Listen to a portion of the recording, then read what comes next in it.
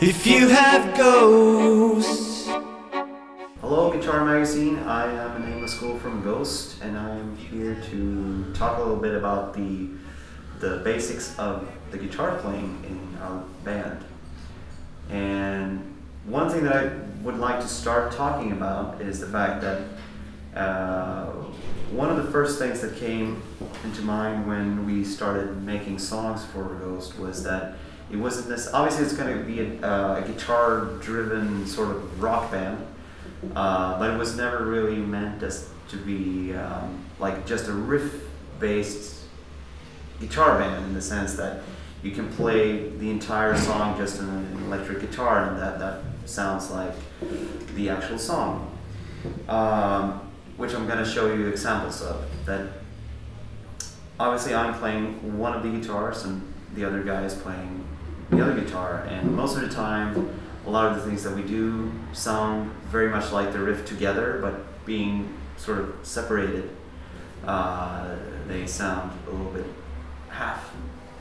So, for example, one of the first songs, or actually the first song that was made, was a song called Stand By Him and the whole song started with a riff that was basically like this.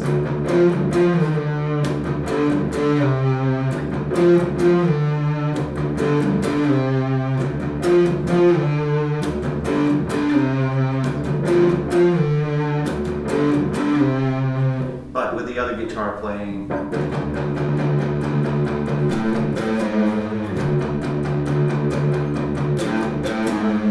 So you get this.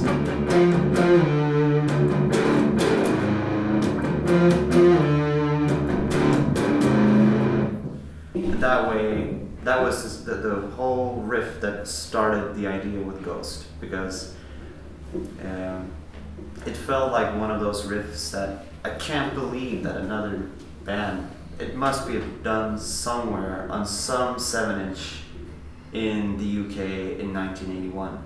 It must have been. But that riff stuck. So, you know, it was one of those things that you sort of continue playing and all of a sudden we had a little, we worked out a little, little bridge, which was, uh,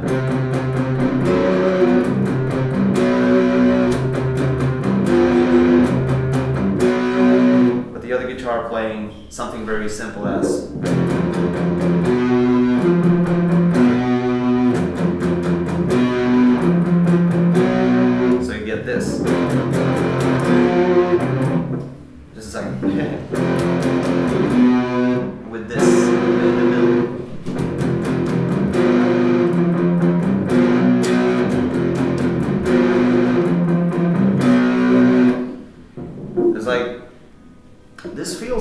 it's going somewhere, but I think that we might need a chorus.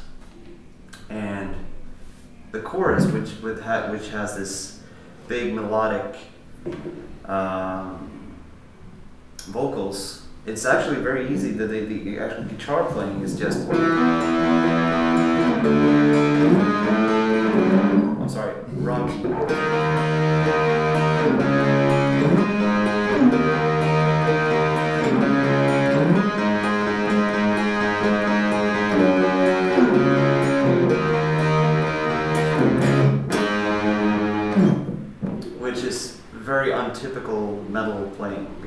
picking and keeping a strumming sort of thing going. And then it drops down to or D because it's a D tuning. Uh, it falls down to D in a big tapping solo, which is obviously like the uh, that's the uh, the most standardized way of starting a metal solo ever. And there was this thing that I picked up sometime that there was this very simple just exercise that is like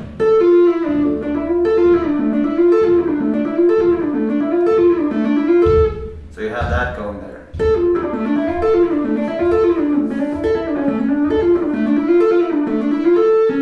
And, and that sort of goes into this uh, it's very simple sort of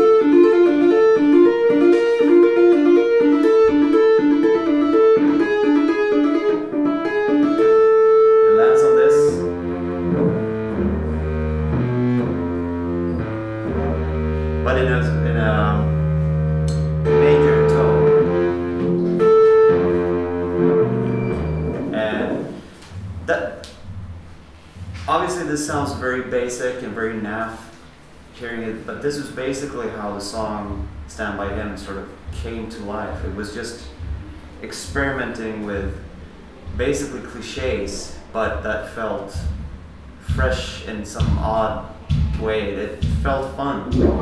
And as that song had taken shape, uh, it was sort of put aside and just like this fun hard rock song with this uber satanic sort of lyrics in it.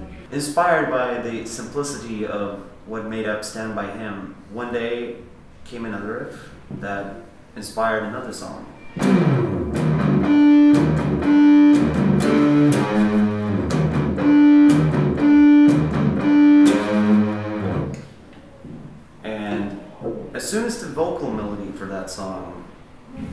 Do do do do do do, Cape Fear basically, this song, Death Knell, came to life. And despite being a, a, a very simplified sort of the most doom metal sort of riff you can make, very sort of standardized. I think what stands out in that song is how it sort of breaks out from the the doom part and falls into the um, pre-chorus, which is the. Uh,